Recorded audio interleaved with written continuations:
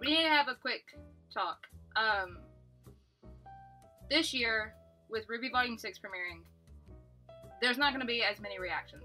I'm only going to do four episode one, episode seven, and then the last two episodes. I'm still going to do RWBY Rap. Okay, RWBY Rap is still going to be a thing on this channel. However, I want to start making different content. I I don't even like that I say content. I don't think of YouTube as my career, nor do I really plan on making this my career. This is a hobby of mine. This is something that I enjoy doing. And so whenever the hobby starts to feel like a chore, I don't want to do the hobby anymore, you know?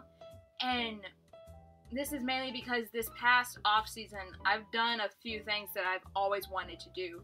I have always wanted to make an animation video.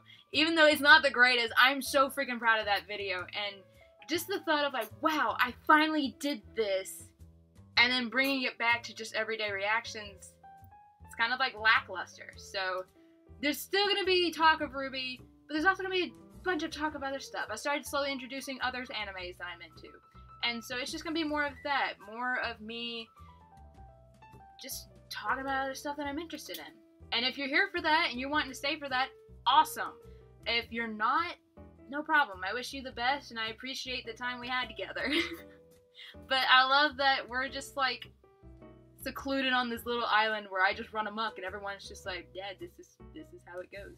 So that's what's gonna happen is I'm just gonna keep doing me and everyone's just not gonna stop me. so that's really it. Just less reaction to this volume. Still talking about RWBY. Still gonna stay up to date. Still gonna stalk the Tumblr tags like nobody's business. Just not as much reactions. Different content, same me. Be sure to check it out. That was the smoothest segue.